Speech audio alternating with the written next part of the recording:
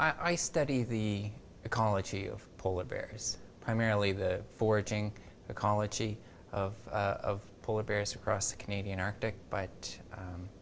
here at the University of Alberta, I've uh, done some work on, on the conservation issues and uh, begun to look at, at, some aspects of their, their distribution and movement patterns. We can, we can sort of use polar bears as a tool to gain some important insights into how that ecosystem operates, how it may be changing over time as a consequence of, of changing climate, um, changing um, pollution levels, um, increased human industrial activity. So uh, polar bears can be used as a really valuable ecological indicator of, of what the ecosystem is doing.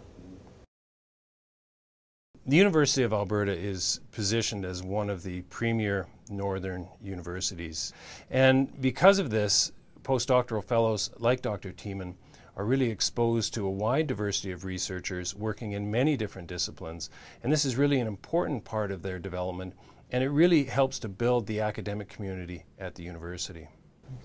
I chose to study at the University of Alberta primarily because of, of Andy Derocher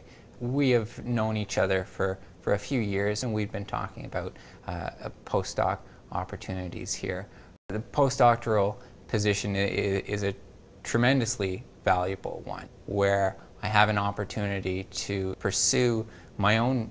research interests but under the tutelage of, of a well-established, highly successful supervisor uh, he has strong northern experience already when he arrived here, and over the past two years, he's really been able to add to those skills. He's been able to insert himself into many different projects, working closely with many of my graduate students, uh, offering comments on manuscripts, input on proposals for uh, funding.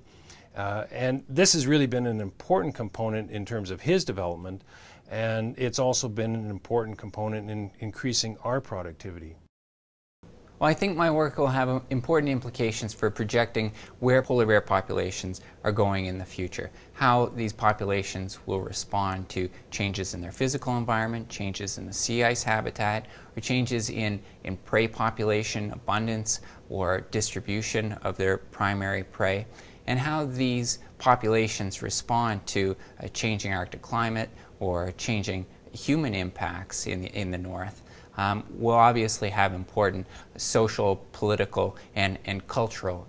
implications.